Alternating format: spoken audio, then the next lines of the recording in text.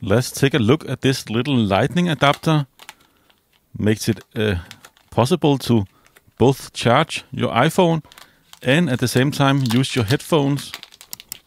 Let's just take it out of this packaging and have a closer look. You can see this little T-shaped lightning adapter charging in left side and headphone in the other side. It is made from some kind of metal, at least it appears to be. And this is of course where you charge it, and this is of course where you plug in the headphones. Actually, when I bought this, I thought it had a 3.5 millimeter headphone adapter. Did not notice that it was for lightning headphones, so that's kind of kind of a bummer for me. But anyways, let's just test it out. I have my test phone right here, which is the iPhone XS Max or 10s Max, of course.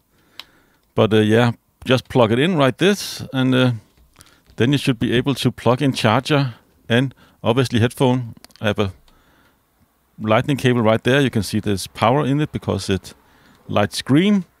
Let's plug in power. Does require a little force, but you can see it starts charging immediately, so at least the charging part works.